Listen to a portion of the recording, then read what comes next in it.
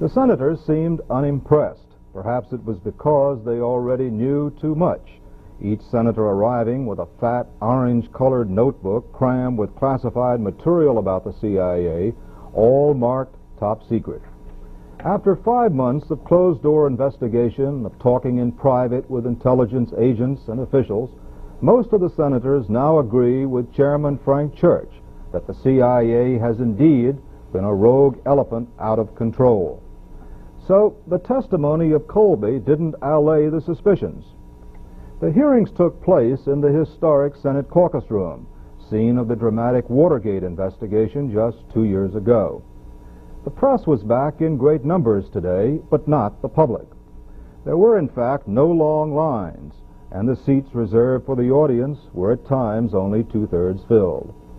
As someone said, after what has happened in this country during the past two years, there are no more future shocks. But whether there are shocks or not, today's open hearing did focus major attention on the way the CIA has gone about its business in the United States. Subject today concerns CIA's involvement in the development of bacteriological warfare materials with the Army's biological laboratory at Fort Detrick, CIA's retention of, of an amount of shellfish toxin, and CIA's use and investigation of various chemicals and drugs. The relationship between the CIA and the Army Biological Laboratory at Fort Detrick as an activity requiring further investigation surfaced in late April of this year. It resulted from information provided by a CIA officer not directly associated with the project in response to my repeated directives that all past activities which might now be considered questionable be brought to the attention of agency management. Information provided by him and by two other officers aware of the project indicated that the project at Fort Detrick involved the development of bacteriological warfare agents, some lethal, and associated delivery systems suitable for clandestine use. A search was made for any records or other information available on the project. This search produced information about the basic agreement between the Army and the CIA relating to the project and some limited records covering its activities from its beginning in 1952 to its termination in 1970. In the course of the investigation, CIA's laboratory storage facilities were searched, and about 11 grams, a little less than half an ounce, of shellfish toxin and 8 milligrams of cobra venom were discovered in a little used, vaulted storeroom in an agency building. A major early requirement of the agency was to find a replacement for the standard cyanide L pill issued to agents in hazardous situations during World War II. This was the basis on which eventually we discovered the to- shellfish toxin. The only application of this toxin was in the U 2 flight over the USSR in May 1960, during which Gary Powers carried such a device car- concealed in a silver dollar. In the Powers case, the grooves of the, of the, the, the drill were filled with shellfish toxin. He obviously did not use it and was not instructed to do so. It was offered to him to provide him with an option. The Powers flight was the only time we are aware that the toxin was provided for operational use, although the L pill was made available for earlier flights. The primary agency interest was in the development of dissemination devices to be used with standard chemicals off the shelf. Various de- dissemination devices, such as a fountain pen dart launcher and an engine head bolt designed to release when heat appeared to be peculiarly suited for agent for clandestine use. Available records do not indicate that all specific items were developed exclusively for the CIA, as work on similar devices was also done for the Army. At the time the toxin was found, the officer responsible for the project in 1970 stated that he had no recollection as to how it got there. On the 30th of June, discussions were held with a retired agency officer who had provided the initial lead. This man, who had been the GS-15 branch chief in 1970, stated that the toxin had in fact been moved from Fort Detrick and stored in the laboratory. This was done on the basis of his own decision after conversations with the responsible project officer. He further stated that he made this decision based on the fact that the cost and difficulty of isolating the shellfish toxin were so great that it simply made no sense to destroy it, particularly when there would be no future source of such toxin. The current branch chief believes this explanation is correct, but still does not recall the actual act of receiving the material from Fort Detrick. Both of these middle grade officers agree that no, no one, including their immediate superior, was told of the retention of the shellfish toxin. If that amount of shellfish toxin were administered orally, which is one of the least efficient ways for administering it in terms of its lethality, that quantity was sufficient to kill at least uh, 14,000 people. If it were administered uh, with the sophisticated uh, equipment that was found in the laboratory, that quantity would be sufficient to kill a great many more. Estimates vary upwards into the hundreds of thousands. Now, my first question is why did the agency prepare a shellfish toxin for which there is no practical antidote, which attacks the nervous system and brings on death very quickly. Why did the agency prepare toxins of this character in quantities sufficient to kill many thousands of people. What was the need for that in the first place, long before the presidential order came down to destroy this material? I think the, uh, the first uh, part of the answer to that question, Mr. Chairman, is the, the fact that the L pill, which was developed and, and during World War II, does take some time to work and is particularly agonizing to the subject who uses it. Uh, the, some of the people who would be natural requesters of such a capability for their own protection and the protection of their fellow agents really would not want to face that kind of a fate. But if they could be given an instantaneous one, they would uh, accept that. And that was the thought process behind developing the capability. Now, I cannot uh, explain why that quantity was developed, except that this was a collaboration that we were engaged in with the United States Army uh, and we did develop this particular weapon, you might say, as a possible, uh, for possible use. Now, when CIA retained the amount that it did, it obviously did it improperly. This quantity um, and the various devices for administering the toxin that were found in the laboratory certainly make it clear that purely defensive uses were not um, what the agency uh, had, had uh, was limited to in any way. There were definite offensive uses. In fact, there were dart guns. You mentioned suicides. Well, I, I, I don't think a, a suicide is usually accomplished with a dart uh, particularly a gun that can, can uh, place the dart in a human target in such a way that he doesn't even know that he's been hit.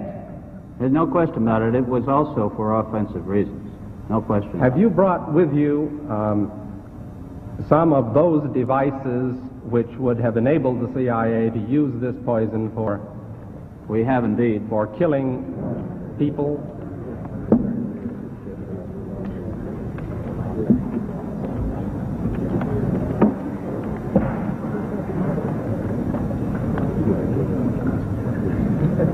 Don't, point it at me. I wonder if... if Can you roll that over? Roll that over.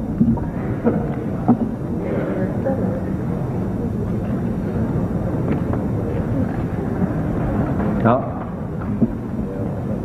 does, does this, does this pistol uh, fire the dart? Yes, it does, Mr. Chairman. The, uh, that, the round thing at the top is obviously the sight. The rest of it is uh, what is practically a, uh, a normal 45, although it's, a, it's special.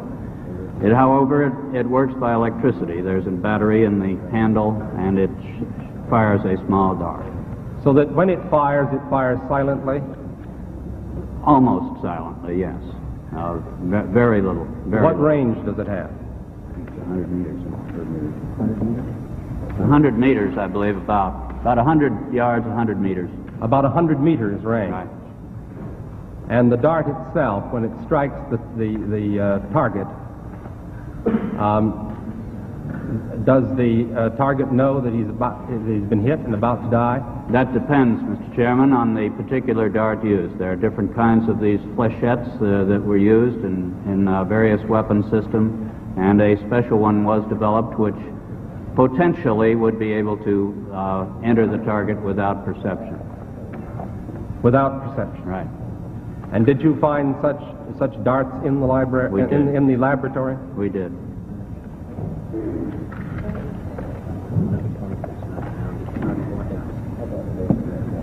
Yes.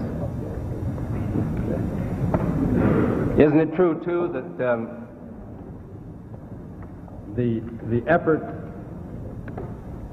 not only involved designing a gun that could strike a, a human target without knowledge of the person who'd been struck, but also the toxin itself would not appear in the autopsy? Well, there, there was an attempt. Or the dart? make- Yes, so that uh, there was no, no way of perceiving that the, uh, the target was hit. As a murder instrument, that's about as efficient as you can get, isn't it? It, it, it is a weapon, a very serious weapon. This record seems to disclose an additional concession, namely uh, the lack of accountability, so that we not only have a secret agency, but we have an agency which, about which there's some question as to its accountability to the authority of the President or to the authority of the National Security Council. Uh, the record seems to disclose uh, that there is no presidential or Security Council order in the first place directing the uh, CIA to establish this program at all. Secondly, there appears to be no report by the CIA to higher authority of the existence of these toxins or biological weapons. Thirdly, there seems to be no evidence that those in charge of the CIA inquired of subordinates as to the existence of toxins or biological weapons, or that following the presidential order decreeing the destruction of such toxins, that any formal order went forth within the CIA to require their destruction. Moreover, the record seems to uh, support the notion that it was only by chance that the leadership of the CIA became aware some years later of even the existence of these uh, lethal toxins, which were in violation of a direct presidential order. In short, uh, the record's a mess, and we may never know just exactly what happened. No one has interviewed Gottlieb as to why he destroyed the material or what they contained, the records. No, I, I did- we have not uh, interviewed him as to the Okay. reason. You know what material, what documents he destroyed?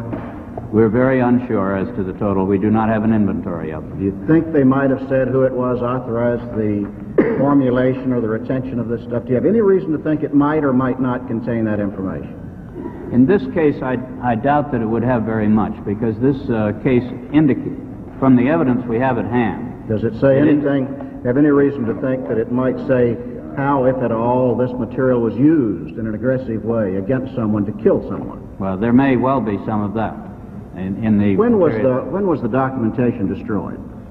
in 1973. In It didn't happen to be destroyed at the same time those tapes at the CIA. 1972. 1972. 1972. When in 1972? In November, I believe it was. In November of 72. Do you have any idea what volume of records were destroyed? I do not know. You know who authorized the destruction, if anyone? As I said, there was a memorandum of agreement between the, the uh, director and, and Mr. Gottlieb at that time. And the director at that time was? Mr. Helms. Mr. Helms is here in this room, I believe, Mr. Chairman, and I take it we'll have an opportunity to hear from him Mr. Helms will be uh, will be our witness uh, tomorrow morning's uh, hearings. I believe he's the lead-off witness. Uh, I won't prolong my opportunity to examine the witness much longer, Mr. Chairman. I understand we're going to try to operate under the 10-minute rule. May I ask you only this other question then in general, Mr. Colby? You've heard of the doctrine of plausible deniability. Yes, and I've rejected it uh, now, Senator. I say that uh, we cannot depend upon that anymore. The question I was going to put to you, is that a phrase of art in the intelligence community? Does it have a, a separate significance that you understand? It uh, was a rationale used uh, in earlier years. What does it if mean? the United States could deny something and not be uh, clearly demonstrated as, uh, as having uh, said something falsely, then the United States could do so. In the case of assassinations, in the case of uh, any other of domestic surveillance, in the case of the formulation of poisons, under that previous rationale, would the doctrine of plausible deniability have led the agency to destroy records, to conceal evidence, or to compartmentalize to the point where it would be un- a committee such as this later would have been unable to establish what really happened? I think the plausible denial concept was used in, in the sense of international diplomatic relationships. That uh, Are you our saying by that that it would not have applied to the formulation of toxic materials? I would not say that it didn't have anything to do with it at all, but I think that the basic rationale for the doctrine of plausible denial was so that our nation could deny something and not be uh, and not be tagged with it. Colby, can you be absolutely sure that there aren't other vaults containing poison somewhere in this town or in this country or in our possession some, in some part of the world? I can't be absolutely sure, no, Senator. I, we obviously are, are conducting such investigations and have issued such orders as are possible, but I cannot be absolutely sure that some officer somewhere has not sequestered something. Could you, as concisely as possible, state for the committee your understanding of the practice of compartmentalization? Well, the compartmentation uh, practice is merely the, the strict application of the need to know principle. If uh, an employee in the intelligence business needs to know something in order to do his job, then he has a right to the information. But if he does not need to know that particular information, he does not have a right to, it, to the information. And uh, if the information is one which is which is required for large numbers of employees, well, then large numbers of employees will be allowed to know it. If the, if the particular activity is a very sensitive matter and only a very few employees need to know it, then it will be known to only a very few employees. We make a particular effort to keep the identi- identities of our sources and some of our more complicated technical systems restricted very sharply in the, in the, to the people who actually need to work on them, and many of the rest of the people in the agency know nothing about them. Does that need to know principle apply in cases of sensitivity to the Director of Central Intelligence? Certainly not. It does not, with one exception. Uh, I do not believe I need to know the name of an agent in some foreign country who's serving us at the risk of his life. I know he's there. I know what kind of a person he is, but I do not know to, need to know his actual name, and I have kept uh, that out of my my knowledge because I travel and I don't want to know that kind of a thing. But that's the only area that uh, I would apply it to. I, I am responsible for everything that happens in the agency. I need to know everything that happens in the agency. We've spoken rather extensively here about apparent lack of clear lines of control and authority running downward and commensurate clear lines of responsibility and accountability running upward. To the best of your knowledge, has there been any pervasive non-compliance in the matter of orders from directives from the President or orders from the DCI on the part of subordinates? In other words, has this uh, reached a greater proportion than might even have uh, been revealed here as a result of our discovery of a very, I think, significant in- instance of, of insubordination? If indeed it has been pervasive, isn't there a need for much tighter controls at the top? Senator Tower, I believe that uh, we are really, uh, we have in CIA a very tight discipline. I'm not saying it's total, obviously. It uh, did not work in this case. But I think with the people scattered around the world doing very sensitive work, doing highly compartmented work, uh, there has been indeed a very high sense of discipline in the organization and a high sense of compliance to the, the regulations and the rules and the directives of the organization. And I think that uh, the leadership of the organization has always felt very much subject to direct presidential control and uh, responsive to it. So you would say actually that this incident uh, is an exception to the rule, that ordinarily the discipline has been good, that the that the control has worked and the accountability has worked in the way that it should according to proper cardinals of good administration. In the uh, in the business in which we are in, the intelligence and covert operations, I think there have been very few cases in which the agency has or its employees have done something that they should not have. And in many of the cases which we now question, we find that, that those activities were approved by the, uh, by the appropriate authorities at that time, that the sense of discipline within the organization seemed to be quite tight. Senator Goldwater? Thank you, Mr. Chairman. I only have one question, Mr. Colby, but I have a short statement I'd like to make to you. Criticism and analysis are important ingredients in making our democracy work. However, we are now approaching the point where both are being abused to the point of self-destruction. I submit we must get out of the morass of doubt and pessimism into which we have sunk. We must not let the quarrels of the past interfere with building for the future. A tidal wave of criticism has swept over the intelligence community of our country, much of which is mistaken or unwarranted. The damage is severe. If continued, its survival is uncertain. Before this committee have appeared men of the CIA, both on active duty and retired. All have been impressive because of their dedication and loyalty. Nothing we have heard detracts from the reputation of the CIA as a highly competent organization.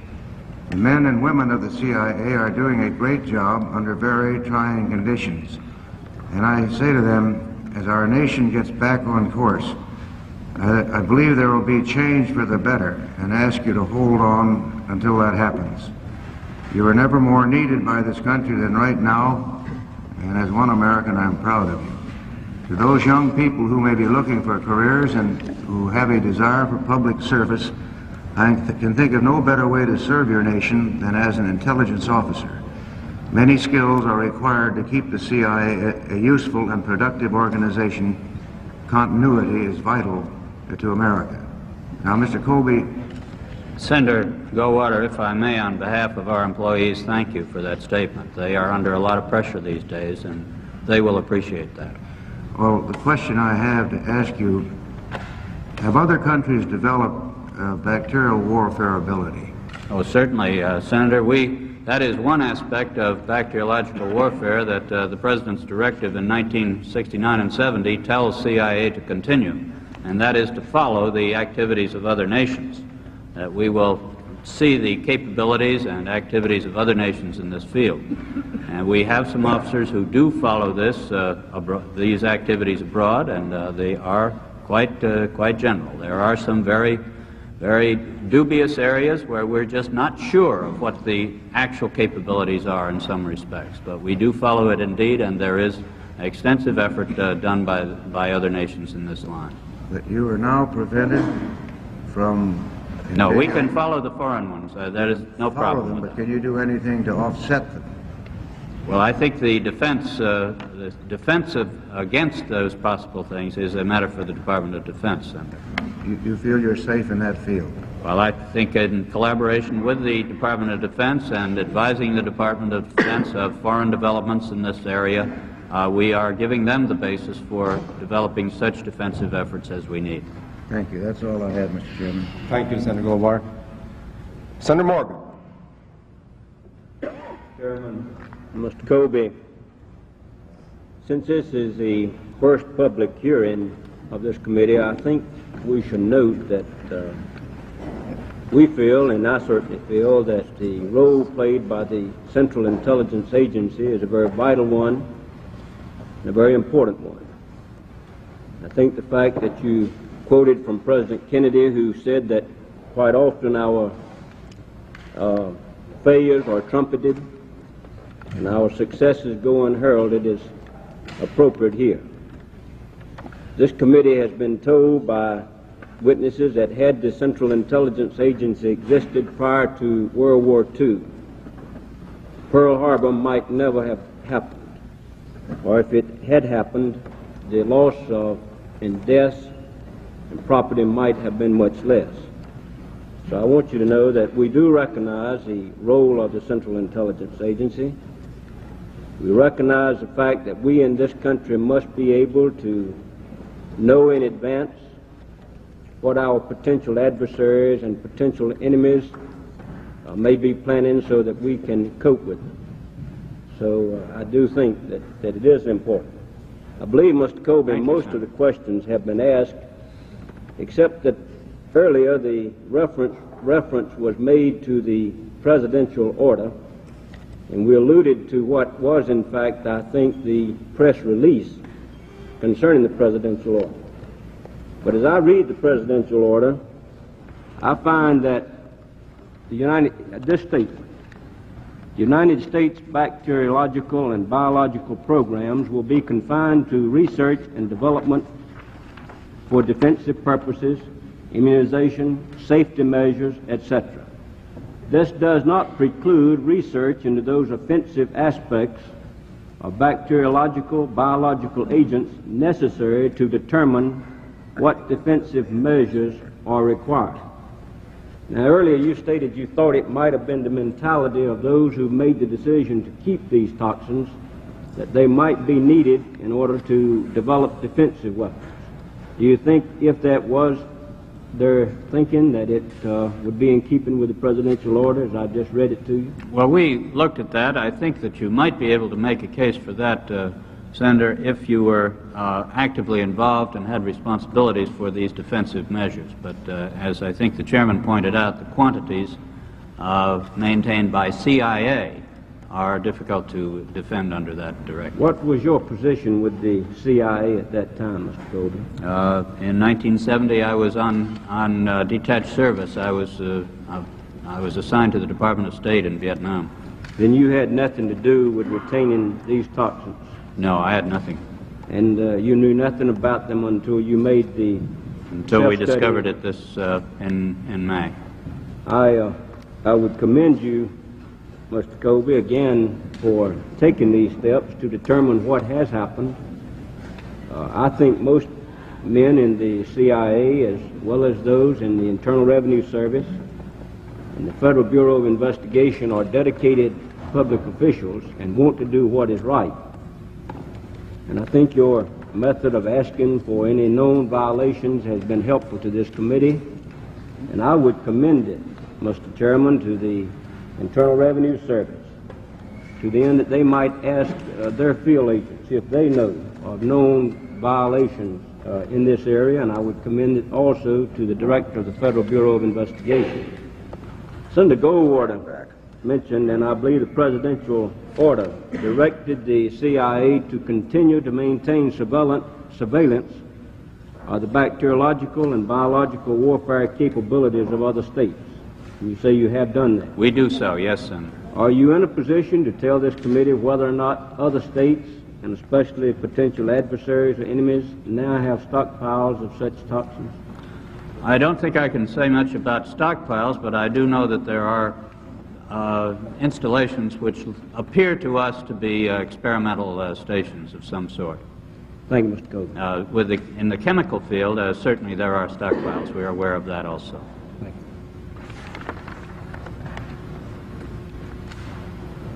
I have no further questions.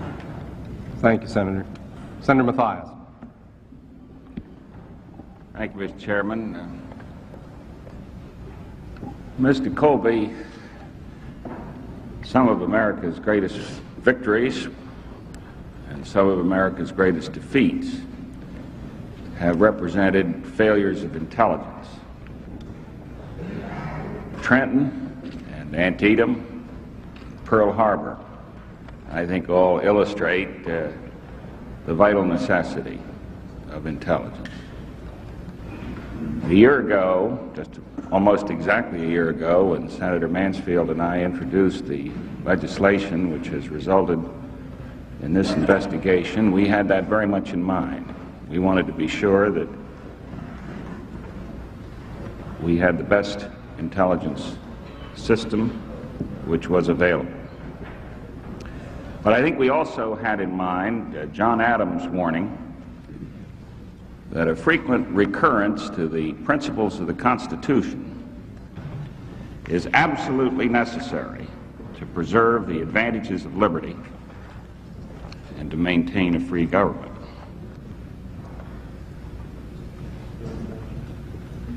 I think the discovery of this toxin raises uh,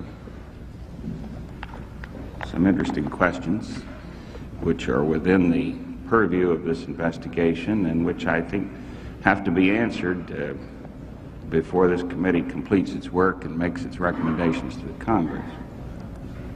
Uh, for example, I accept your statement that this toxin was never used, except in the one instance that you've described.